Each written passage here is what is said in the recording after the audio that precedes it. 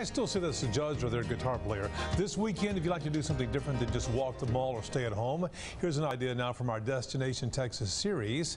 KETK's Katie Carver tries out paddle boarding on Lake Tyler. A hidden gem here in East Texas, Tyler Paddle oh, is yeah, that's a encouraging people to get out of the house and onto the water. Open seven days a week, owner Holly go for it. Ingram hosts paddles throughout the day from 8 a.m. to sunset. The sunset spots fill up pretty quick. They're a really beautiful way to spend the evening. Before you hit the water, Holly sets you up with something she likes to call Paddleboarding 101.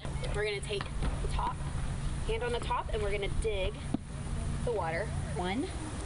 Yep. Second foot, spread your toes out. That's our paddleboarding 101. The launch site is at the Boulders on Lake Tyler, which hosts an array of other activities for the family as well. With more and more people vacationing closer to home, more people are finding their Zen on tap. All kinds of um, just fun outdoor things to do so we can get a dose of uh, vitamin D, Dr. Sunshine. Rentals are $25 for one and a half hours out on the water.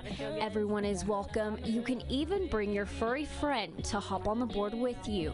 Kneel, sit, or stand. The water is wide open for you to explore. For Destination Texas, I'm Katie Carver. I love the dog when mama go crazy. Remember, every week featuring a different local adventure I would showcase the wonderful family trips that await you without ever leaving the uh, area of East Texas.